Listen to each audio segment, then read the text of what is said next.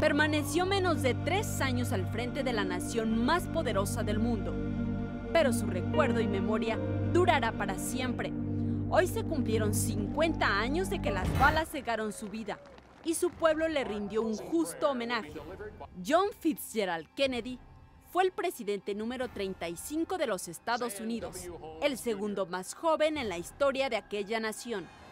Ahí, en una ceremonia discreta, el presidente Barack Obama depositó una ofrenda floral en el cementerio militar de Arlington, donde reposan sus restos.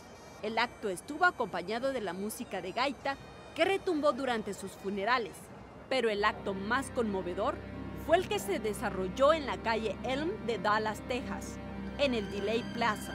Ahí fue donde los ojos del mundo lo vieron por última vez con vida. En el evento, el alcalde de la ciudad, Mike Rawlings, destacó el legado del expresidente, encumbró sus logros durante su administración y destacó su valor humano. Justo a las 12.30 horas detuvo sus palabras y pidió a los asistentes guardar un minuto de silencio por la memoria del mandatario ultimado. Of John Fitzgerald Kennedy.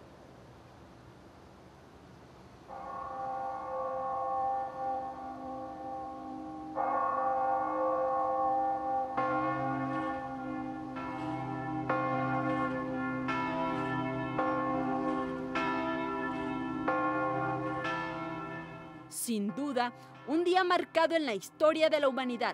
Proyecto 40.